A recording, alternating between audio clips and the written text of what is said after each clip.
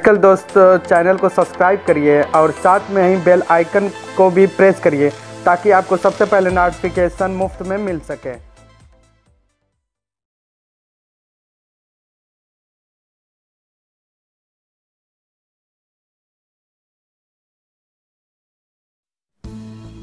Hello friend मैं हूँ आपका मेडिकल दोस्त और मेरे इस मेडिकल दोस्त चैनल में आप सब लोगों का बहुत ही स्वागत है।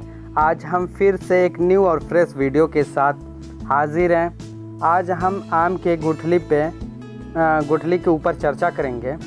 जैसे कि भूल से भी आम की गुठली को कचरे में फेंकने की गलती ना करें, वरना ज़िंदगी भर पश्चात पश्चात पश्चाते रहें, रह जाएँगे। आम को फलों का राजा कहा जाता है, जिसका मुख्य कारण आम का मीठा स्वाद है। आम का सेवन हमारे शरीर के लिए बहुत ही ज़्यादा फ़ायदेमंद होता है। लेकिन क्या आप जानते हैं आम की गुठली भी हमारे शरीर के लिए बहुत ही ज़्यादा फ़ायदेमंद है? आज इस वीडियो में हम आपको आम की गुठली से होने वाले फ़ायदे के बारे में बताने जा रहे हैं।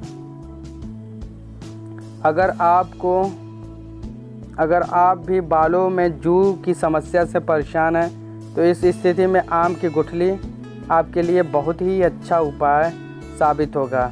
इसके लिए सबसे पहले आपको आम की गुठली को सुखा लें और अच्छी तरह से सूख जाने के बाद गुठली पीसकर पाउडर बना लें।